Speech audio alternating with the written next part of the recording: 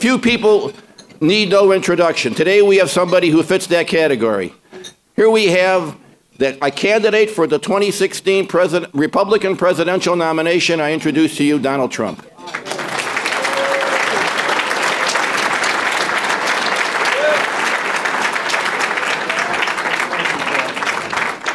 Uh, that was very nice, Paul. Thank you very much. It's an honor to be here.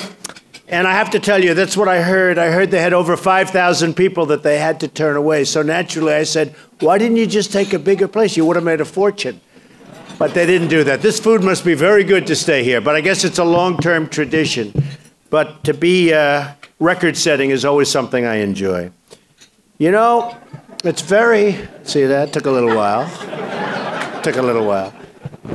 It's very uh, interesting because I've been doing this situation for a week and a half, two weeks. And it's been, I've really enjoyed it, actually. I've gotten to meet so many incredible people in New Hampshire and Iowa. I've been to so many different places South Carolina, California. The other day I was in Maryland. We had a record crowd. We're having record crowds no matter where we go. And I think it's because I tell the truth. I don't need money. I don't need anything. I don't need campaign contributions. I don't need lobbyists. I don't need special interests helping me. The only thing I need is to do what's right for the country. That's all. Now, I don't know if that's going to translate. It might be translating because we've certainly done well in the polls. In fact, I see we're in second place, and I don't understand how Bush can be in first place, to be honest, because it's not going to happen. You know, when you're in favor of Common Core, meaning your children in Chicago are going to be educated through Washington, D.C., the bureaucrats, I don't think so. When you weaken immigration, I don't think so. I've been very, very strong on immigration. Thank you. You're right. But I've been very strong on immigration, and we have to be. And I've taken a lot of heat, and it's unnecessary, very unfair heat, because, first of all, I love the Mexican people.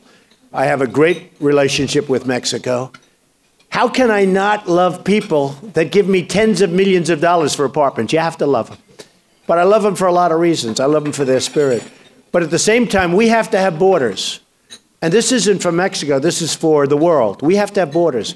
If we don't have borders, we're essentially not a country.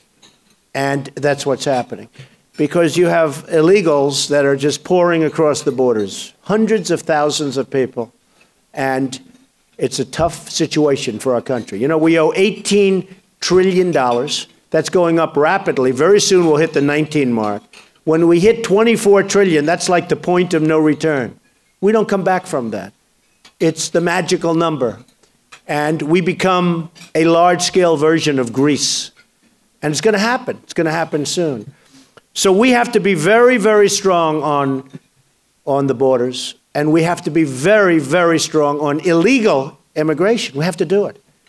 We have no choice. Now, it's been interesting because I've read so many stories. I've never had stories like this. If I do a building, I get two stories. And not even that. I announce a big building and I get a little action. I announce Doral.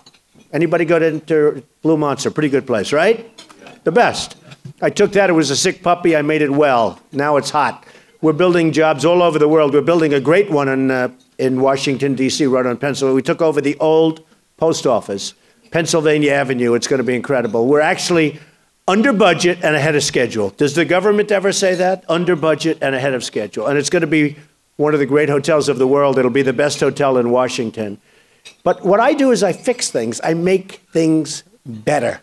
Whether it's Doral, which is this phenomenal hundreds and hundreds of acres right in the middle of Miami. That was an interesting case. That was musical chairs. People bought it, sold it. Wall Street guys. They bought it, sold it. They kept buying it, selling it. Everyone buys it, sells it. They make 100 million. They make, then it got up to 550 million, and the market crashed. And I bought it down here. You would be very proud of me. But I spent money and fixed it and made it beautiful. And now it's one of the hottest resorts in the United States, and it's great. And a man came up to me from Doral who was a member before, and he said, Mr. Trump, this is what, because it is beautiful. I blew it up. I mean, I built it. It's something really special. New clubhouse, magnificent rooms.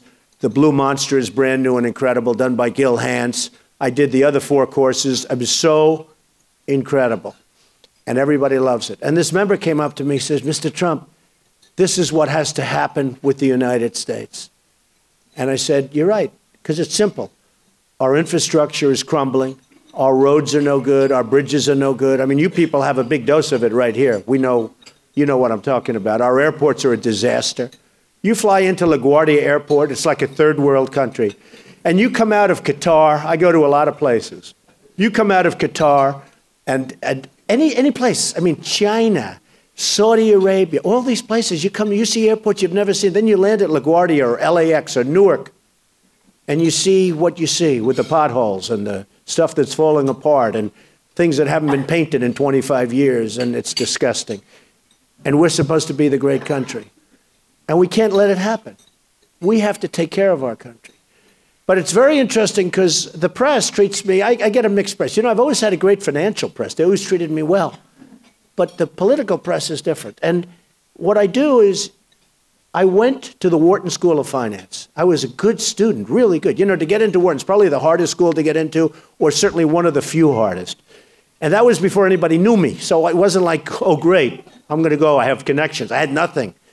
But I go to the Wharton School of Finance, good student, really good student, smart. And then I go out and I make a fortune. And then I write The Art of the Deal. Who's read The Art of the Deal in this room? Everybody, right? Look, most successful business book, they say, ever written. I mean, the, the greatest. So I do The Art of the Deal, becomes the number one bestseller on New York Times list for many, many, many months, and it's been great. And then I do a show called The Apprentice. Anybody ever hear of The Apprentice? And that was supposed to be a total failure. And in fact, I remember one of the critics saying, This is the most ridiculous thing I've ever seen. Sister, because the sister's a big fan of The Apprentice, I was told, right? They said, This is the most ridiculous thing. Can you imagine Donald Trump? Now, to have a successful show on television, you need the women because the women have to be much more than 50% of the audience. And this critic, before the show came out, said this show is going to be a total disaster because who would want to watch Donald Trump, and especially women? The women will never watch him. And I say, Am I so bad? Am I so, am I so bad? And the show became a, a sensational hit. Sensational. And most shows failed. 95, 96% of the shows that go on television fail. And even this, I'm not doing The Apprentice. Because when I run, I'm not allowed to because of equal time. In other words, if I do the, I think it's a ridiculous rule, by the way. The politicians, you guys should end that rule. Go to Washington. No, it's ridiculous. I'm not doing The Apprentice. And, and you know, it's interesting. They renewed me. They renewed The Apprentice. And Mark Burnett called me up. He goes, Are you crazy? You're going to run and you're not going to do, you're not taking a renewal. Everybody takes a renewal, which is true. You know, you have a show for one or two hours on television on prime time. And I give up. See, I give up a lot. So I give up The Apprentice and I give up hundreds of millions of dollars of deals because I'm doing what I'm doing, because we have to make our country great again. We have to. We have no choice. We have to make our country great again. So I go to Wharton, I build a fortune, I do the art of the deal, I do the apprentice, and then I watch these political pundits, most of whom are not smart people. and they say, Oh, isn't that terrible? Donald Trump, who's polling second, can you believe I'm polling second? I haven't even started yet. But they say Donald Trump, it's so sad that Donald Trump is taking the place of some senator who's like, give me a break, or some governor who can't get himself arrested. And I'm taking his place like it's a terrible thing. So, I mean, it's really, it's really incredible. Then they call you all sorts of names. It's, they call the clown car, you know, clown, like I'm a clown, you know, I'm worth a fortune. I built this great thing, and I built it the hard way. I didn't build it like with some internet site that, you know, some love site that's worth uh, 600 million. I built it like with real estate and labor and people building and brick and mortar and financing and banks and everything and legal and, you know, the old fashioned way. And I have some of the greatest real estate in the world. And you know, it's something uh, really beautiful about it. But now I want to do something else. And I really want to make this very, very special what we're doing. So, what I said is when I ran, when I announced a week and a half, two weeks ago, I got such great reviews on the speech. I didn't use teleprompters. You know, it's like a, a, friend of mine, Chris Christie, is going to announce tomorrow. And he's a good guy. He's, he is a good guy. But one of the things he said, he's not going to use a teleprompter. And they made a big deal. I've been saying that for six months. I don't use a teleprompter. I'd love to use a teleprompter. I'd have one here, one here, and I'd go like this ba ba, ba ba ba ba, ba ba ba ba, ba ba, and everybody's going to fall asleep. And, you know, one of those things, right? But you can't if you want to really. In fact, I came up with a statement if you're president, if you're running for president, you shouldn't be allowed to use a teleprompter because they don't find out who the real people are. But but you get covered very, very unfairly. So they never mentioned my teleprompter, but they mentioned Chris's. That means to me Chris will get good publicity. And that's okay. Let him get good publicity. It's not going to make any difference. Now, now, one of the things I've been saying, and I say it very strongly, but it's a positive statement, but they may, the American dream is dead, but I'm going to make it bigger and better and stronger than ever before. I say it. So think of it. Good. But, but I say it. And then I watch myself on television. So I say, remember, the American dream is dead, but I'm going to make it bigger and better and stronger than ever before. Nice, you know, statement. So here's on television. I'm watching it just a little while ago. Donald Trump was very hard on the country. And they have me quoted The American dream is dead. Cut. I said, wow, that's a hard statement. That's a hard statement. So they give you a hard time. Uh, then I talked about immigration uh, very strongly, and then Univision uh, tried to make a big political thing out of it. And the reason they did that, and who knows, maybe NBC will do the same thing. I don't even care. I don't care. Because I have to tell the truth. And the reason I'm doing well in the polls, and it's very interesting because I just got these, and CNN is back there live. I see CNN down there. So, but there's a CNN poll just came out. And they have interesting categories. Who's the best on terrorism? That's a pretty important subject. Trump right at the top. Who's the best on handling international trade? Like, not even close. Trump is like almost double anybody else, right? That's incredible. Then, who's best on handling the economy? This is from CNN. You believe it? Who's best on handling the economy? I like CNN, actually. I might not like him after the next poll. I like him, I like him this month, right? Who's the best on handling the economy? These are all different inside the polls, right? And the best on handling the economy, Trump by far. Trump has 29%. The next is like Jeb Bush. I don't think he is actually second best. I can think of guys that are better than him. Okay? So I'm best on terrorism, best on the economy, best on trade, best on like a lot of important things. The only thing I'm not so good on is like, who's a nice person? Trump is last. I'm last. And I said to myself, you know, it's like, that's really fair. That's really unfair. Oh, who's the strongest leader? Let's see. Yeah, Trump is the strongest leader. So I, I look at this, I say, if I have all these things, why don't we just call off the election today? Let's put the country back in shape. It's true. They're pretty good categories. But I'm looking at what has to be done, and we have to get back to work. And we have to be less politically correct. And we have to be strong. And you know, you take beatings. You really take beatings when you tell the truth. Um, I've always said, and I've been saying it for years, uh, and I, I, really, you know, I love running my company. I wish this country was doing so great because we're building all over the world. We're doing a great job. My son's here, Don Jr and Eric and Ivanka. You've all heard of Ivanka. And uh, I have great children that are doing good. I have great executives. We're all over the world. We're doing. I love. I, I would love to be doing it, but we can't. I mean, I had. This is why they said, "Why this year?" I said, "It's just getting worse and worse. We're in a bubble." Remember what I said. We're in a bubble. We have artificially low interest rates, and those rates are keeping things going. And when those rates go up, I mean, I know you have a tremendous problem in this state with debt when those rates go up, it's going to be a very ugly picture for the country because, you know, you're paying low interest rates. On top of that, you're losing, the country's losing a fortune, this state is losing a fortune. and many states are losing a lot. We're in a bubble. It's artificial, artificially induced, and there could be a time where it's going to be a very unattractive picture. And a lot of things could happen that are not going to be nice. It's not going to be good. You look at what's going on today with Greece, the stock market's not reacting very well. I don't know what's going to happen. Who knows? I would think they maybe will make a deal all of a sudden. It seems that deals are always made out of, you know, out of nowhere, something happens. But there's a lot of angst, there's a lot of turmoil. But you just you just go along and, and you just have to somebody has to come out and tell it like it is. Uh, I deal with politicians all my life. I've made a lot of money with politicians. They're really easy to deal with. And now, with the exception of the folks in this room, because you have some politicians in this room, they're, they're outstanding. Every one of them. but other than the ones in this room, politicians are all talk and no action. They're all talk and no action.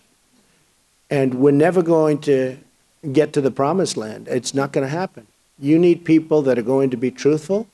You need people that are really smart and really know what they're doing. And when I said during my speech a week and a half ago that I'm rich, that was another one. They cut me off. I'm really rich. But I didn't say, I said I'm really rich. And you have to be, that's the mindset that the country needs. I'm not saying rich in a braggadocious way. I'm saying rich because that's the mindset that the country needs. So that was another one, just like I said, you know, before, this was another cutoff. I'm really rich, but they didn't leave the rest of the sentence. The mindset is this is what has to happen. And, you know, you look at our country and you see what's happening. We don't have victories anymore. We, we just don't have victories. And I tell people, when was the last time, as an example, we beat China in a trade deal? They just lowered their interest rate today. You know what that means? They're devaluing their currency even more. They're devaluing their currency because they're killing us. They are killing us on trade. And I'm a free trader. I believe in free trade. But you know, the problem with free trade is you need smart people representing you. And we don't have those people. I know who the people are. I know the best. I would put X person in charge of China. Believe me, we will, we will absolutely do great. But China doesn't respect us. You know, I, I love China. I have people that pay me 25 million for an apartment. More. Am I going to dislike them? The biggest bank in the world from China, they're a tenant of mine. They pay me rent every month. And by the way, their lease just came up and they renewed. I said, oh, they'll never renew because nobody hits China harder than I do. And they come in, oh no, we want to renew. I said, you do? That's nice. I mean, that's interesting. You know why? Because they respect me. I also have great locations, that helps, right? But they respect me. But, you know, friends of mine that are in the manufacturing business, they find it impossible to do business with China. And they get taxed. They send their stuff in here, and I buy it. I buy a lot of it because our companies can't compete. Look at South Korea. The other week, I ordered 4,000 television sets for a big job. 4,000. They all come from South Korea. And every time North Korea just rears its head a little bit, we send the destroyers, we send the battleships, we send everything over there. We send the aircraft carriers. To turn on the aircraft carrier costs five million bucks. We send aircraft carriers. We're going to defend. We, we, we get nothing. We get all the soldiers over there. I wouldn't want to even be those soldiers in the middle of that. But we get nothing. Saudi Arabia makes a billion dollars a day, a billion a day. We lose money. Saudi Arabia is so rich. They have the third most expensive, they spend third in terms of the military in the world. They spend, they're number three in spending. Now, I don't know if their soldiers are going to run if there's a shot fired. We'll see, because you never know. I tell you what, in Kuwait, when they were having the problem with Iraq, if you remember, the shots were fired and they ran. And we had our beautiful Marines standing right behind them, and our Marines took care of the business, right? But, and I was just given, we were just talking, I was just given one of the highest awards that the Marines give last uh, week at the Waldorf Astoria. They gave me an award on, it was a wonderful thing. And uh, actually, the gentleman, the general that gave it to me, just became the head of the Joint Chiefs of Staff, and he's a very impressive guy. But the Marines took care of business. But if Saudi Arabia is making a billion a day, and you take a look at Yemen, where we have a border that doesn't end, the border is on Saudi Arabia. Do you think they're after Yemen? They're after the oil. They're not stopping at Yemen. And yet we get nothing. Why are we not getting it? I, I don't want to be sound like a mercenary. But why aren't they helping out? Why aren't they doing something for us? Because without us, they wouldn't be there for 10 minutes. They have the biggest planes in the world, they have the biggest yachts in the world, they have the biggest, and without us, they're gone. It's like years ago with Kuwait. So Saddam Hussein, Iraq takes over Kuwait. That's it. The head people moved to London, most of them. Many of them took whole hotels. They didn't take a room. You know, we take a room. They took five floors. They took a whole building. They lived. We went in, beat the hell out of Iraq, and then we let everybody move back. We got nothing. And then a guy comes to my office, I'll never forget it, the Kuwaiti investment. And we were talking about doing a deal. And he said, No, no, no, no, Donald, we don't invest in the United States. They don't like the United States. And yet we gave it back. How stupid are we? How stupid are we? So you look at Saudi Arabia, you look at Japan. Japan has cars that you stay in Los Angeles and the area, and those boats come in, you wouldn't believe. You, you won't say, How big are those boats? They get bigger and bigger all the time. Thousands of cars, millions of cars a year. I mean, just, I never saw anything like it. They pour in. And I say, How much business do we do with Japan? When our farmers want to send stuff, they always protest and make it very difficult. How many Chevrolets are driving around the streets of Tokyo, would you say? What do you think? You guy's smart as hell, by the way. What do you think? About three, maybe two? It's a different world. We lose with everybody. And then I talk about Mexico, and I love Mexico, but every time I talk about it, they accuse me of being a racist. And I have great respect for the leaders of Mexico. The problem is they're much smarter than our leaders. So you have plants going into Mexico, you have cars being built in Mexico. You have tremendous economic development in Mexico. You have a border which is very unsafe. I was really criticized for the border, but the truth is, it's true. So I went out and we got, we got stories. I said, do me a favor. You know, they think that, like, the way I said it was fine, but they made it sound like I was very tough. Well, then I got out. I had one of my people do me a favor, just check the border. Is it, like, safe? I don't know they come back with stories that are mind boggling. So here's a story. So Univision's the one they pull out. I'll sue them. I'll sue their, you know, I'll sue them big league. I do fine with lawsuits. but they pull out. And you know what? Maybe NBC will pull out because I don't know. Maybe NBC doesn't have the courage to stand up and say, we need strong borders. They could be. Maybe NBC will pull out. I don't know. You know, because the problem with these public companies, they get a little bit of pressure and they immediately say, oh, gee, we can't be associated with that. That's the problem with our country. So who knows what's going to happen? But I send people out and I get these articles. Now, this was an article by Fusion. Somebody said Fusion's owned by Univision, right? Is it? Does anybody know that? Fusion is owned by Univision. And it's in the Huffington Post. Very liberal. They don't like me. They write bad stuff about me, right? And it was just the other day. And here's what it says. So I'm, I'm making tough statements about the border, how dangerous it is, etc., and that people, illegals, are pouring across. And I, I get this article. I get many, I have many, many articles. There are hundreds of them, how dangerous it is. But I'm supposed to, they think it's like Mother Teresa's coming across the border. Okay? This one says 80% of Central American women and girls are raped crossing into the United States.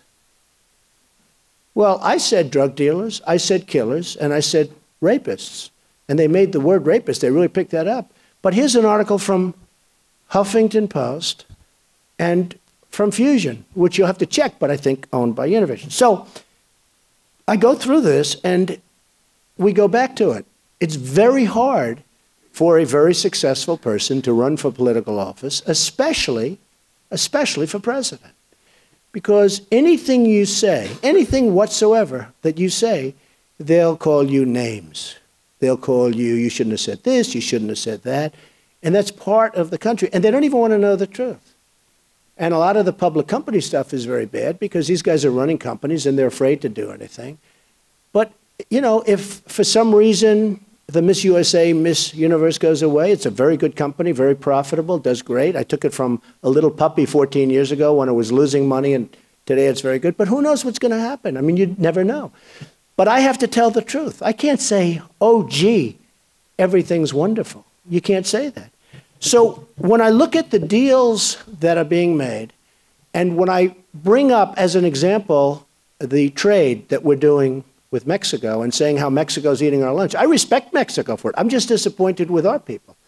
We have the worst negotiators worldwide, but we have all of these terrible negotiators, and our country's getting killed.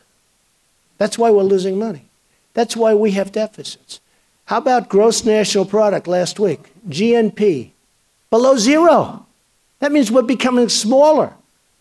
You look at China, you look at these other countries, if they go 7, 8, 9%, they're like devastated. We went below zero last quarter. Below zero. I mean, I guess it happens, but I never even heard of it.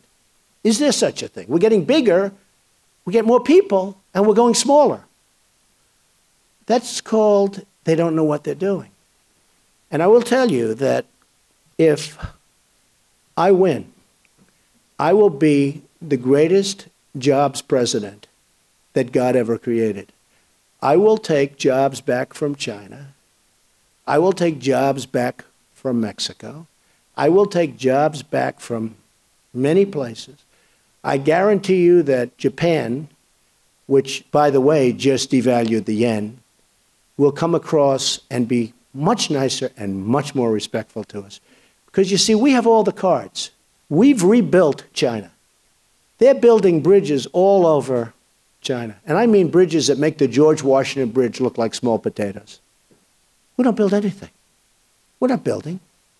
Our place is decaying. In fact, we have 60% of our bridges and tunnels that they say are unsafe. Every time I ride over, I, re I read these reports like 64% are in trouble. I'm driving over a bridge that's 400 feet over the water, and I'm saying, oh, I wonder if this one's okay. And so we have to do something about it because we have such tremendous potential. We have to take care of our military. We have to take care of our vets. Our vets are treated like third class citizens, like third class citizens. They build a hospital, cost like a billion three, and it should have cost a fraction of that and been much better. And people drive. You have a situation where one of the groups was telling me where they literally have to wait four and five days in a waiting room just to get in to see a doctor let alone to get fixed up. So our vets are being treated horribly, and they're our greatest people, you know, if you think about it. They're really courageous and great people. We wouldn't be here except for the vets. The military has a lot of obsolete stuff. We're getting smaller all the time. I'm in the real estate business, as a couple of you probably have heard. And all the time I get these listings for bases, bases. And one day I said, How many bases are we selling? We're selling so many bases a naval base, a this base, an army base, a marine base. We're selling bases. I mean, how many do we have that we have to sell so many? Because we've never been in a position where we're so vulnerable. The enemy this time is a different kind of an enemy. They're silent, you don't see them, and very smart. And they're better at the hacking and they're better at the computers than our people are, which is shocking and they're convincing our youth and other people in this country to do lots of bad things, and we don't even know about it. So we have to be much smarter than we've been. I mean, they're saying that China hacked, remember it started about two weeks ago, 4 million people in government. 4 million. It's a lot of people. But now they're saying it could be 30 to 34 million people. I didn't know we had that many people in government. They hacked everybody. Now, it might not be China, it might be Russia. You know, this country is so set on China, but it might be Russia. I say, why is it China? They have no idea. We're not doing anything about it. And yet, the St. Louis Cardinals baseball team is under investigation for hacking the Houston Astros, okay? no, no, think of it. Did you read that story? It's like the big story, St. Louis Cardinals. Who the hell? I mean, look, it's wonderful. Let them do whatever they want. So they'll, they'll end up getting a pitcher. He'll end up being no good. He'll need Tommy John surgery, right? But here we are. We know nothing about what's going on. Nothing. We know nothing about what's going on. We're being hacked at the, at the level of probably 30 to 34 million people, and we're worried about the St. Louis Cardinals and the Houston Astros. It's incredible. It's incredible. So we have to straighten out our thinking. We have to create something again.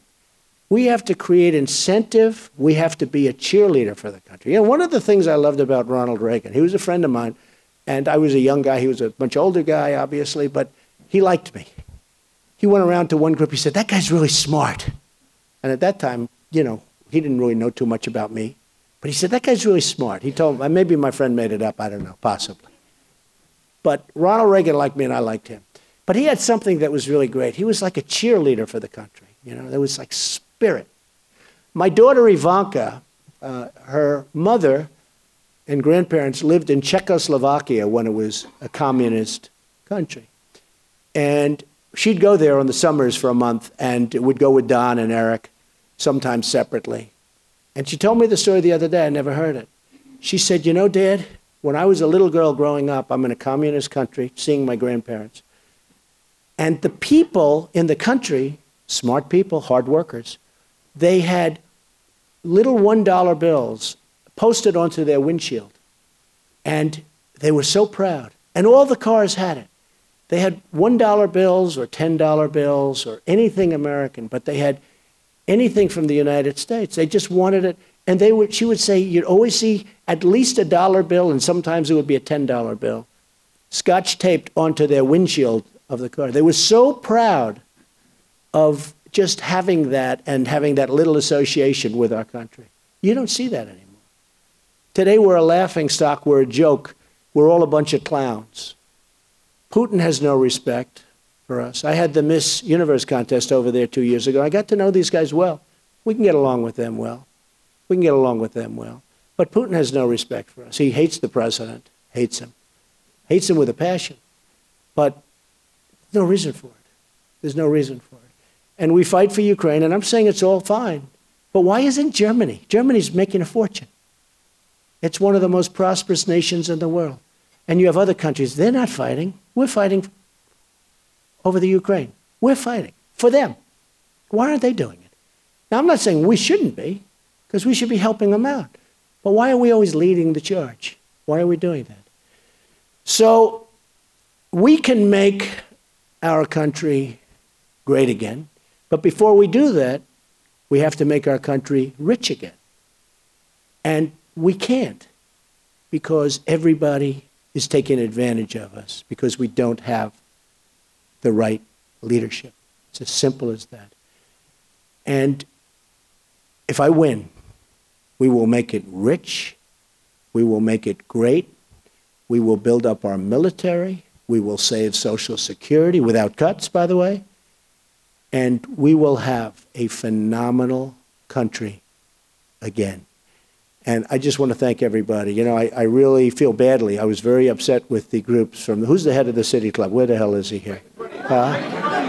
I said to him, my, my partner over here, I said, what the hell? You turned away 5,000 people. By the way, the press will not report that. Are you going to report that they turned away over 5,000 people? they won't report that. They will not report that. I guarantee you that. And I thought what we'll do with Paul and everybody is, while I'm here, we'll ask, uh, perhaps some people have some questions, and it would be my honor to ask. And, and this has been really a lot of fun. You're an amazing group of people and a great city. Thank you. Thank you. Thank you very much. Go ahead, Paul. Hold on. Uh, just to clarify, uh, Mr. Trump, when you have a business relationship, you stick to your deal, right? Unless it's a bad deal. Yes. Okay. Yes. These people have stuck with us. That's through, true. I through agree. thick and thin, sometimes very thin, right, Jay? okay. Well, here we have a lot of questions, and some of them are duplicates. But since I'm the moderator catching all the heat, my I'll ask the first question. August 6th, I believe, is the, the first debate. Are you going to be ready to share the stage with nine or ten Republicans and stay within the time limits and give and take, especially the take? Yeah, look, I'm not a debater. You know, politicians do this for a living. I, I create jobs, I create buildings, I create businesses that have been very, very successful. And I built a tremendous net worth and a tremendous lot of things. But I'm not a debate. I don't debate. Everyone's saying, oh, great. But you know what? I think I'll do fine. It's common sense. Hey, look, it's whatever it is, it is. But, you know, politicians every night they go and they debate. That's what they do. They debate, they talk. Uh, but uh, yeah, I guess I qualify. It certainly seems like I qualify. I think they're going to take 10, and I'm number two now. So I think I qualify. But uh, to me, it's not. To me, it's not about the debate. It's about getting it done, really. But I'll be ready. Yeah. Great. Now we have a lot of questions, uh, probably more than we Well, normally. we'll take a few less than that. Good. On the other hand, you know, to get ready for the debate, you have like 90 seconds, so terse is not worse. Ed Mazer, board member. Mr. Trump, what point in your life did you decide public service was more important than making money? This guy right over there, in case you.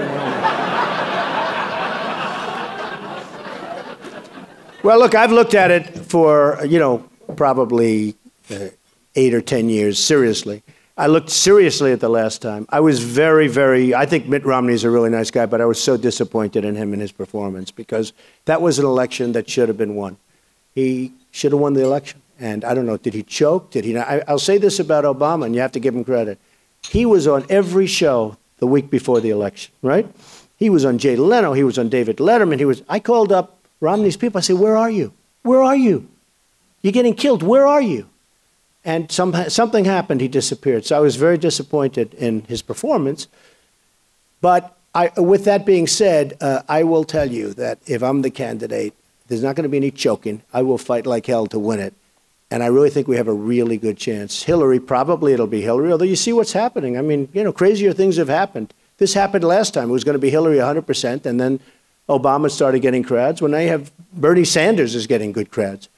And uh, who knows? I think it's still going to be Hillary, but she's very, very vulnerable on many different things. So we'll see what happens. Uh, this is from uh, Chris, Christopher Anderson. Uh, affiliation, you'll like that. Realtors. Uh, okay. I think a lot of potential deal makers. I with see you. it. Yeah. Name, would you name potential Trump cabinet members? Uh, Secretary of State and Secretary of Commerce, assuming you win. Yeah. It, it's just too early. I mean, uh, you know, I didn't want to think about it, to be honest with you. It's just too early. It's, uh, I get that question all the time. Who would you make Secretary of State? Who would you make Secretary of the Treasury? Believe me, we'll get the best. We'll get great people. But it's just too soon. We have to get there first. I don't like talking about things until we get there. I never talk about deals until they're done. You know, these guys, they talk about deals. Oh, I may, I'm going to make this one, and they never happen. I don't talk about anything. I always wait till we get it done. So I got to get one thing done first. Okay. Uh, Karen, uh, is that Rector? Close enough. Public Health Institute of Metro, Metro Chicago. What are the most pressing public health issues that need to be addressed during the campaign? I think we have to knock out Obamacare and we have to replace it. It's going to be a huge problem. It's going to be a huge problem. Trillions and trillions of dollars. They spent $5 billion on a website. It didn't work. The IRS just asked for a billion dollars because of the complexity. They have to hire tremendous staff at the IRS just to handle what's going on with Obamacare. And people don't know this about Obamacare, but it doesn't really kick in big league until 16. That's when it kicks in. It's going to cause tremendous problems. And on top of that, the deductibles are so high and the premiums have gone through the roof, it's just not something that works. So I think that's going to be a very, very big issue. And, you know, one of the things that Bush did is he uh, gave us Roberts. It was him that pushed it to his brother. Jeb Bush knew Roberts very well, and Jeb Bush pushed him. And honestly, it should be the Roberts care because two years ago he approved it. It should have ended. And now he could have pretty much wiped it out, and he approved it again. So I think it's going to die of its own weight. It's, it's been a disaster. And doctors are leaving their profession. I don't know how many doctors you have in here, but doctors are leaving the profession because they can't handle it. I have one person, a friend of mine, who said, I have more, I have more, literally, he said, I have more accountants than I have nurses because of the complexity of it. So it's not good for the people, it's not good for the country, and we can come up with a plan that's going to be much better. It's going to be great for the people and much better for the country and much less expensive. And there are numerous things, but there's one in particular that could really work. Thank you. Here is a very intriguing question. You may not want to answer it because you're not there yet, but oh no, you, you can answer this. This is from Ashvin Ladd. If the current cabinet members were on The Apprentice, who would you fire first? And who would be the winner? That's a, that's a pretty that's a pretty original question. I don't know. You'd fire plenty of them. Look, you, you see what's going on. You could fire all of them. Um, I- you know, I, I, the EPA is a disaster. It's, it's, it's killing us. The EPA. The regulations that they're imposing on businesses are incredible. But I, I think I'd have to look at Secretary Kerry. He's our chief negotiator. He's getting killed in the negotiation. The deal with Iran is a total disaster. Uh, They are tapping him along like a baby because he's not a negotiator. And then on top of that, at 73 years old, he participates in a bicycle race. And he falls and breaks his leg. I promise you one thing I will never be in a bicycle race.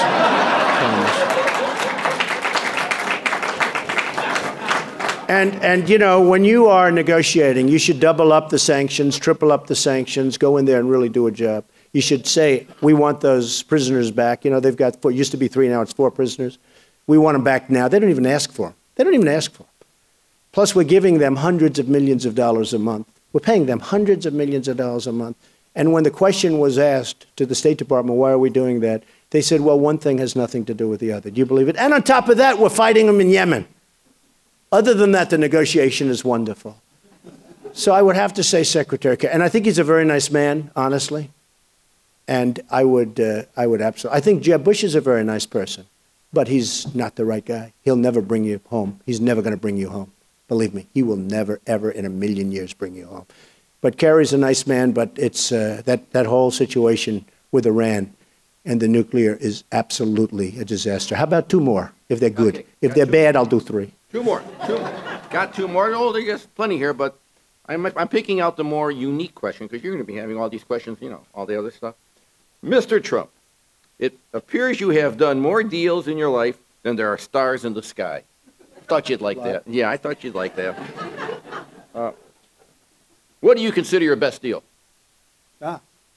These are pretty. This is the City Club. We're not asking you. Yeah, that's good. It's an interesting question. So it's not my biggest deal. I would say Trump Tower on 57th and 5th would be uh, only. It's not my biggest deal by any stretch. I built buildings on the west side from 59th to uh, 72nd Street, and I've done deals where I actually made more money. But Trump Tower was really to me, and to this day, it's been successful from the day I built it. Right next to Tiffany, I bought the Tiffany air rights, and it's been it's been a great deal. I mean, I've done a lot of a lot of great deals. Just I'm very proud of the building we have in Chicago. I'm really proud. And by the way, the sign, I love the building. I, I will tell you. So I have to tell you this.